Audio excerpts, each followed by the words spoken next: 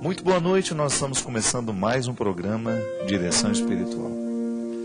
Pedindo a graça que Deus venha derramar sobre nós a sua luz e que Ele venha incendiar a nossa alma. Eu me recordo quando nós éramos meninos, né? A gente pegava tudo aquilo que estava sobrando e a gente gostava de vez em quando de fazer uma fogueira. Toda criança gosta, né? De ser um pouco incendiário e queimar aquele lixo todo, né, que havia sobrado. Às vezes a gente fazia um dia de faxina. Hoje, hoje, por exemplo, eu tive um dia inteiro de muito trabalho manual mesmo, de pegar no serviço pesado. É bom. A gente cansa o corpo, né, e depois chega de noite aquele cansaço gostoso. Mas depois daquela faxina toda que você faz, você descobre um lixo que precisa ser jogado fora. E algumas coisas naquela época a gente queimava, gostava de queimar, fazer aquele fogueirão, né? E eu me recordo que eu era um menino que me encantava muito com o poder do fogo. Ficava sentadinho ali vendo a fogueira fazer o trabalho de destruir aquilo que já não tinha mais utilidade. Mas no, no ato de destruir o que não tinha mais utilidade, existia um calor bonito sendo produzido. Um generoso calor, assim como nas noites de São João, né? Para nós que temos aqui o inverno, na época de junho a gente gosta de fazer a, a fogueira de São João e sentir a o sabor daquele calor, né? A gente saboreia o calor. A gente vive aquela satisfação de ver o fogo arder e de nos aquecer com aquele fogo. O fogo tem o poder de limpar, né? De fazer ser destruído o que não tinha mais utilidade. Por isso que nós trabalhamos tanto dentro do contexto da religião, dos símbolos do cristianismo, a figura do fogo. Pedir a Deus que venha incendiar a nossa alma é também pedir a Deus que Ele venha queimar os nossos excessos. Já parou para prestar atenção o tanto que os nossos excessos prejudicam as nossas relações humanas? Se a gente não vai lapidando, retirando os nossos excessos, o outro nem sempre consegue nos tolerar. Por quê? Porque nós estamos excessivos. Nós estamos precisando fazer as nossas podas. E o fogo de Deus na nossa vida, no simbolismo né, que a gente pode usar aqui, o fogo de Deus enquanto simbolismo, é justamente para queimar aquilo que em nós é excesso. As arestas, aquilo que não está precisando continuar. Muitas coisas na nossa vida não precisam continuar. E a gente insiste em prolongar aquilo. A gente insiste em levar conosco o que já não nos serve. Por isso que é tão bom a gente pegar a nossa casa de vez em quando e dar uma geral em tudo que é papel antigo, que não serve mais, que às vezes a gente vai guardando. Né? A gente vai ficando pesado com o tanto que a gente vai acumulando, com o tanto que a gente vai guardando. Faz bem de vez em quando você faxinar, jogar fora por fogo, esquecer que aquilo existe. O mesmo a gente precisa fazer com a gente. Eu quero pedir a Deus a graça todos os dias, de jogar fora os meus excessos. O excesso que a gente vai né, adquirindo ao longo da vida, quantas coisas a gente traz ruim para dentro de nós, para dentro da nossa casa, para dentro do nosso coração. E se é excesso, precisamos jogar fora. A gente vai dormir melhor, né? A gente vai descansar um pouco mais se a gente vai para a cama sem os nossos excessos. É igual preocupação. Se você for pensar bem, uma preocupação muitas vezes é um excesso. Estou lá, uma hora da manhã, olho para o relógio, fico pensando num monte de coisa que eu tenho que fazer amanhã. O que, que adianta? Se uma hora da manhã é a hora de dormir, é a hora de descansar o corpo, para que no outro dia eu venha fazer o que precisa ser feito. Agora, se eu já antecipo o que é de amanhã, eu já crio um excesso para mim. Eu preciso fazer de tudo para criar um estado de conforto para minha alma. E isso passa pela cabeça, minha gente. Religião passa o tempo todo pelas nossas escolhas, eu gosto de dizer isso. Por aquilo que a gente racionaliza, por aquilo que a gente escolhe. Então, se eu deito na minha cama com os excessos do que passou, né? Muita coisa ruim me aconteceu, aí então eu fico ali na minha cama, pensando nas coisas ruins, nos meus fantasmas, naquilo que eu fico imaginando, que eu nem sei se é verdade, mas estou lá, remoendo aquilo. Significa que eu estou em excesso. A minha alma está cheia demais para descansar, para ficar tranquila. O que, que é a tranquilidade? É o equilíbrio. Né? Quando eu peço a Deus a, a graça de ter uma alma tranquila, um espírito tranquilo, eu estou pedindo isso. Um espírito sem excesso. Ser a porção que me cabe. Tão difícil isso, não é? A gente ser a porção que nos cabe. Hoje eu preciso ser. E eu só posso ser com qualidade se eu não tiver nada sobrando. Porque se eu tenho muito excesso, eu corro o risco de ofuscar o que eu sou de verdade. Não é? Quando eu arrumo muita coisa, quando eu estou com muitos excessos, eu corro o risco de ofuscar o que eu tenho. A palavra pode ser um excesso. A pergunta pode ser um excesso. Às vezes a gente chega para o outro, a gente faz tantas perguntas que a gente não dá o direito do outro ser quem ele é. Ou às vezes nós criamos tantas coisas para o outro que nós ofuscamos o que o outro é. Isso é um perigo.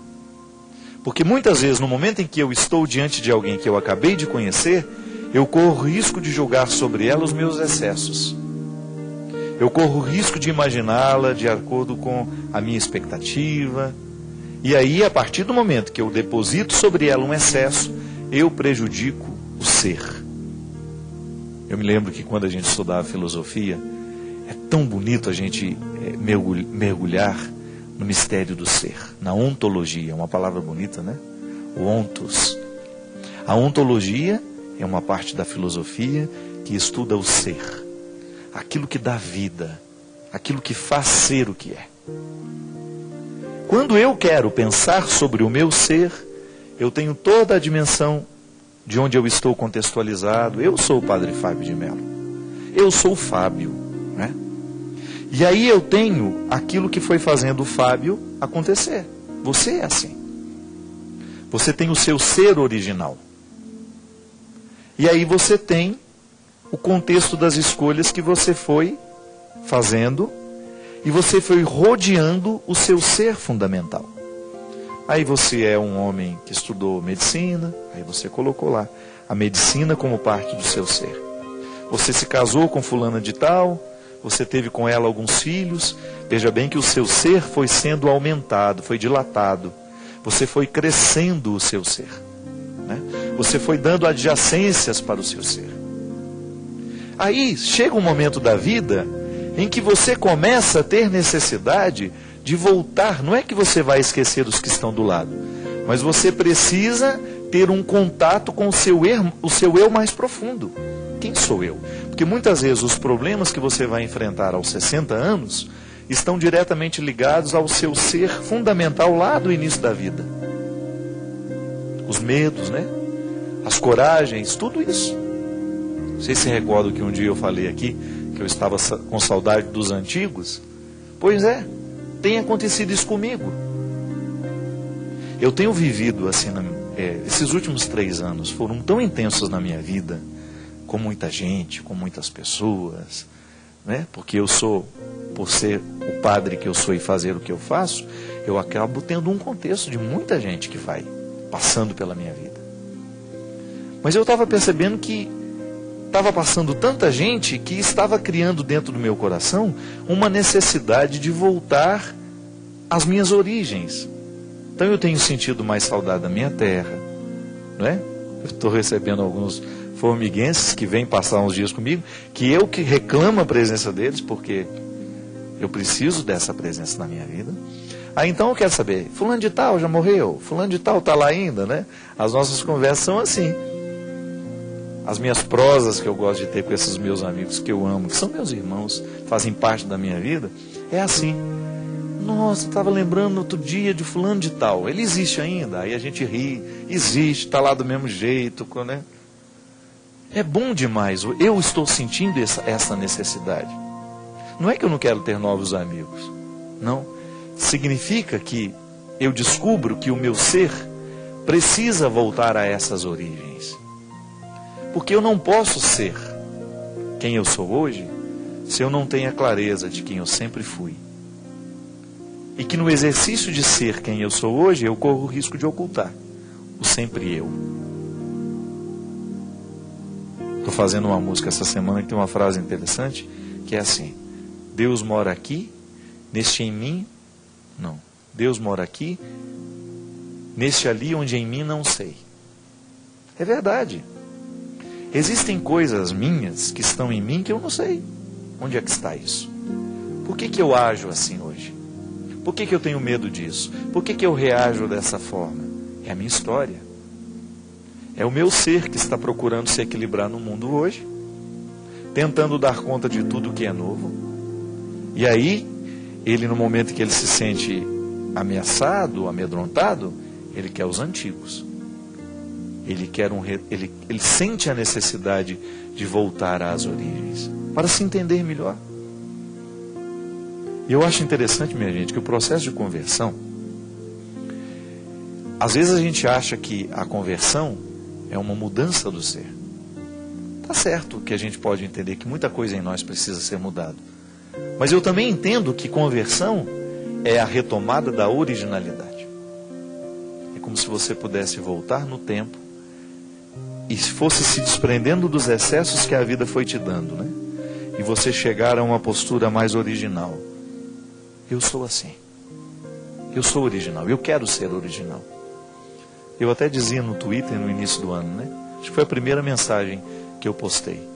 O meu projeto de vida para este ano é ser eu mesmo eu não aceitar as máscaras que as pessoas querem colocar em mim, eu não aceitar os estereótipos que as pessoas fazem questão de colocar em mim. Eu sou eu, tenho defeitos, tenho limites, tenho qualidades, mas eu sou eu. Porque Deus me chama para ser quem eu sou. E a minha conversão, a minha configuração a Cristo não nasce de uma mentira. A minha configuração ao Cristo nasce a partir de quem eu sou. Jesus não quer uma outra pessoa. Ele quer a mim. Ele quer você. Então aquilo que a gente vai se tornar, o ser humano que nós queremos ser, que tem nele o nosso modelo, é Jesus o nosso modelo, parte deste ser que eu sou. Porque se Jesus quisesse outro, teria chamado outro. Chamou a mim, chamou você. Da mesma maneira como ele chamou o outro, de outra forma, a partir do ser que ele é. Descobrir essa identidade, sabe? É uma luta. Porque o tempo todo nós temos os que estão de plantão, loucos para falarem o que a gente não é, o que a gente não fez, porque não sei. Parece que é uma luta nos dias de hoje, né? Parece que não existe muito espaço para a gente ser verdadeiro, para a gente ser quem a gente é. Há sempre alguém que está nos querendo pior ou que está nos querendo melhores demais. Isso causa um cansaço, viu? Muitas vezes você se sente cansado e não sabe por quê. Pode ser que o seu ser esteja desconfortável na roupa que você escolheu para ele. Pode ser que o seu ser esteja desconfortável na estrutura que você criou para ele. E aí a gente fica angustiado, a gente fica deprimido, a gente fica agressivo, a gente fica carente demais. Por quê? Porque o meu ser não está confortável na estrutura que eu criei para ele viver. Perca tempo não, viu? Se você hoje descobrir que você precisa fazer reformas na estrutura que você criou para a sua vida, faça. Com bom senso, ouvindo seus amigos, ouvindo o padre que te acompanha, ouvindo o pastor que lhe acompanha, não tema em reestruturar a sua vida. Crie um espaço para que o seu ser possa ser realizado. Crie um espaço para que Deus tenha chance em você. Muitas vezes a estrutura de vida não permite a conversão. Por quê? Porque Deus só vai entrar nos espaços em que Ele couber. Se o ser está desconfortável, você precisa mudar a estrutura de vida. É como estar no seminário sem querer ser padre. Para que que vai ficar lá? Por uma comodidade? Porque já não tem mais coragem de sair? Eu me lembro, sabe? Eu tive muito poucas crises no seminário crises assim mesmo. Ah, que vontade de ir embora, desistir de tudo. Não.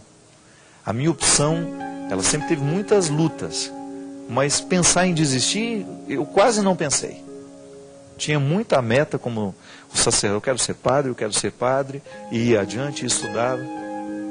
Mas eu me recordo que uma vez o padre Maurício disse para nós, que foi meu primeiro formador, ele disse assim: muito mais fácil muito mais difícil que entrar no seminário e sair dele. Por quê? Porque a gente corre o risco de se acomodar. A gente corre o risco de ir cumprindo os processos que são exigidos de nós e de repente você ficou padre. Mas veja bem, isso é comum na vida.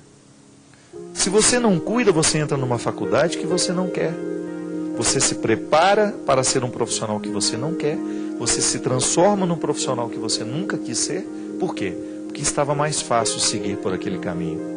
Foi cômodo, a sua mãe queria, o seu pai queria, tinha facilidade de morar naquela cidade que tinha o curso. É como se nós criássemos uma clausura para o ser e impedíssemos de esse ser acontecer a partir de tudo que ele pode, só porque houve uma comodidade. Eu brinco muito, né? E sei que tem muita gente séria é, se preparando para o concurso público, porque realmente vê naquele trabalho uma vocação. Mas eu alerto muito os meus amigos que estão. O que, que, que, que você está fazendo? Estou estudando para passar num concurso. Que concurso? Ah, qualquer um. Cuidado. Nem sempre a segurança de um bom salário é a garantia da sua satisfação.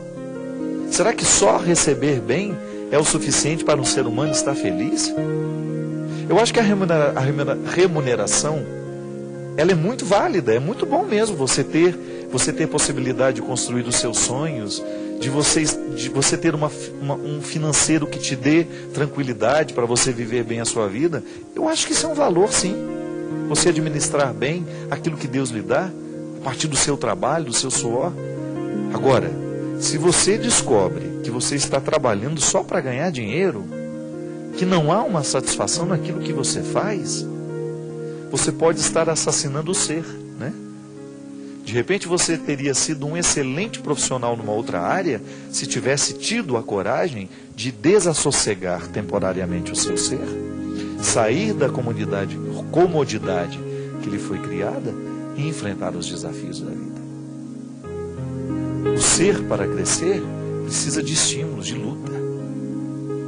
Senão a gente corre o risco de se nivelar por baixo, de cumprir um destino, um caminho para o qual a gente não nasceu, viver uma vocação que não era nossa, entrar num caminho que não era o nosso, e depois, num determinado momento, chegar à conclusão de que não fomos felizes, que não valeu a pena.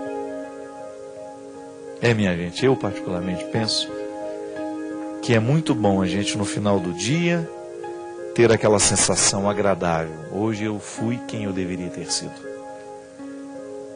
Eu fiz o que eu deveria ter feito. Eu estava no lugar certo. Eu vivi o meu papel. Cumpri a minha responsabilidade neste mundo. De ser eu um espaço realizado, humano, onde Deus tenha condições de agir. Porque lá onde está um ser humano realizado, lá Deus está revelado.